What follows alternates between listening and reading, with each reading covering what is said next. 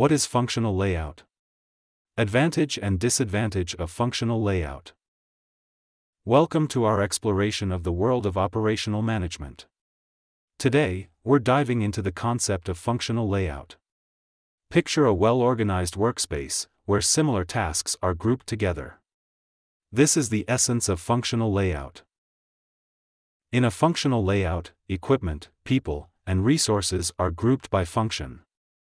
Imagine a newspaper firm, where all writers are in one department, all editors another, and printers in yet another.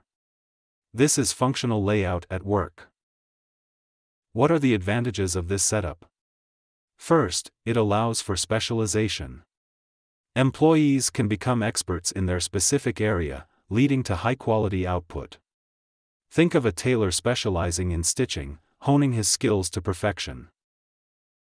Next, functional layout promotes efficiency. With similar tasks grouped together, resources and tools can be easily shared. This helps to reduce operational costs and increase productivity. Imagine how a kitchen operates, all the cutting happens in one place, all the cooking in another. Furthermore, this kind of layout offers flexibility. Because resources aren't tied to a specific product or service, they can be easily redirected as needed. This means the organization can adapt quickly to changes in demand or market conditions. But like anything, functional layout has its drawbacks. One major disadvantage is increased movement. Since similar activities are grouped together, there can be a lot of back and forth between departments.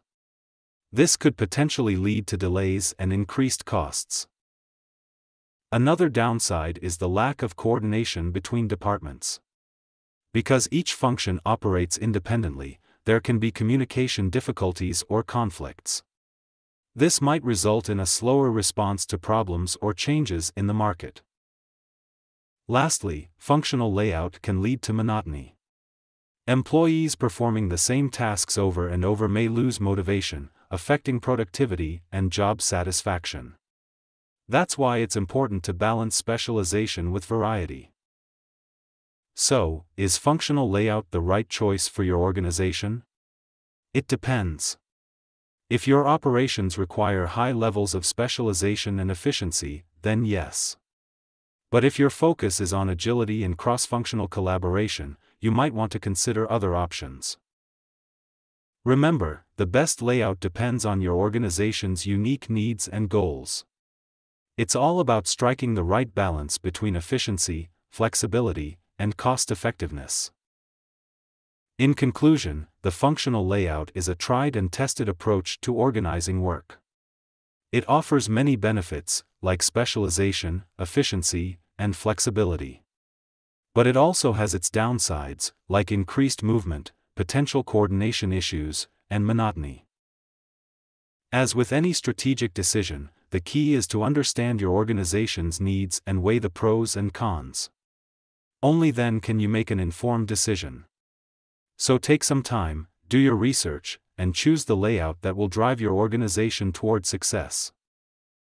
Thanks for joining us on this journey into the heart of operational management.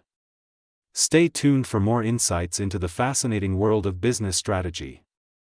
Until next time, keep thinking, keep strategizing, and keep growing.